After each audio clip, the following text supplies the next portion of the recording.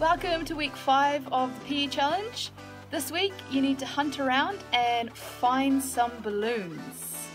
Let's have a look at what's in store. The aim of all three levels is to keep the balloon in the air for as long as you can. For level 1, you must stand on one leg and use only one arm to keep the balloon in the air. You're out if your hand or the balloon touches the ground and you score a point each time you hit the balloon into the air. For level 2, you need two balloons. You take it in turns to hit the balloons, keeping them both in the air as long as you can. Each time you've hit both balloons, you score a point.